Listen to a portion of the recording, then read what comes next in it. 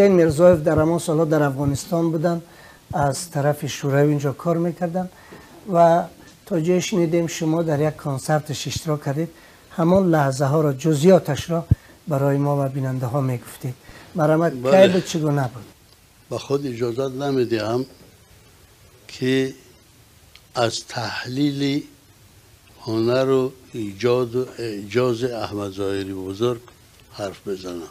سال 1977 اون سالها در افغانستانی اون موقع دموکراتیک یک جشن جمهوریت داشتن که هر سال جشن گرفته می‌شد. و روز جشن جمهوریت بود. با یکی از همکورس هایم خال نظر محمد علی از کلخوزآباد هر دوتامون تصمیم گرفتیم که میریم در این جشن کنسرت احمد ظاهر رو می‌بینیم. و جشن ها بسیار زیبا و عجیب سازماندهی می‌شد و ما دو نفر هیچ گونه دعوتنامه هم نداشتیم. دعوتنامه هم نداشتیم رفتیم. همینطور نزد همون صاحب منصبایی که در نگهداری منطقه معذف بودن خود را معرفی کردیم و گفتیم ما مهمانیم از تاجیکستان برای دیدن احمد ظاهر آمدیم. خوب استقبال کردن ما را. با تمام احترام ما را بردن از صحنه دور نه در قطار چهارم ما را جای دادن. گفتن شما مهمان ما هستید راحت باشید. و یکی از عجابت های این کنسرت در آن بود که کنسرت هفت ساعت ادامه داشت و این هفت ساعت متواتر احمد ظاهری بزرگ آوازخانی می‌کرد. هر چلو و پنج پنجاه دقیقه یک فاصله می‌شد و در این مدت احمد ظاهر یک پیاله چای می‌خورد و باز با کنسرت دوام می‌داد. من غلام کمرم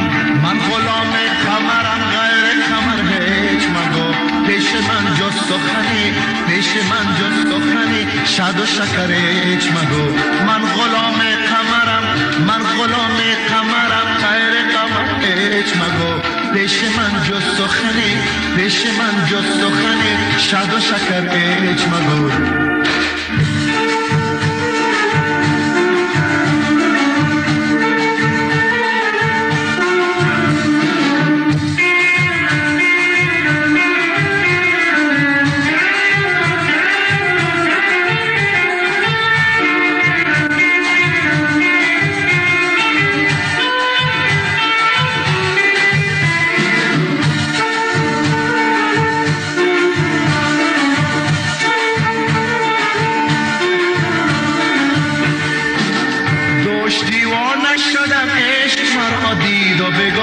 دوش دیوانه شدم عشق مرا دید و بگفت آمدم آمدم آمدم نرم ازن جامم در هیچ مگو.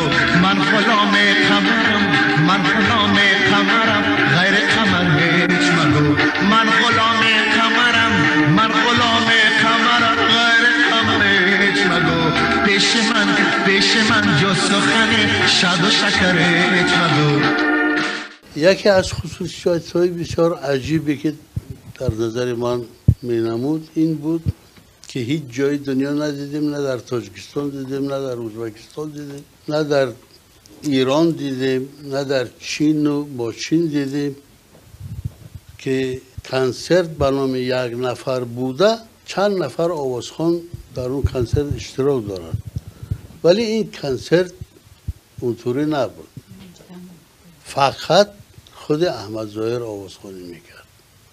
این هفت ساعت تنها خودش آواز می‌خواد و یک چیزی بسیار خاص دیگه ای که در این کنسرت من مشاهده کردم این بود که در هفت ساعت آوازخانی غیر از سرودها به زبان فارسی و دری و تاجیکی که این سه زبان به نظر من سه شاخه یک بن است. فقط به همین زبان ها به همین زبان سرود می‌خواند ما یگان سرود به زبان دیگری در این کنسرت هفت ساعته نشنیدم. در هفت ساعت کنسرت از ریپرتوارشون هیچ ترانه را هیچ سرودی را تکرارا اجرا نکردن فقط یک ترانه ای که همون موقع نو ایجاد کرده بودند و مردم را بسیار به شوق و شور و شنگ آورده بود. سرود لیلی جان رو یک چهار پنج بار خواندن. با خواهش مردم. اینم با خواهش با درخواستی بیننده های اون کنسرت بود و مخصوصا درخواست می‌شد از طرف خانم ها بعد از مرگ فاجعوی احمد زایر هنوز هم کورس های من هم, هم درس های من در افغانستان بودن.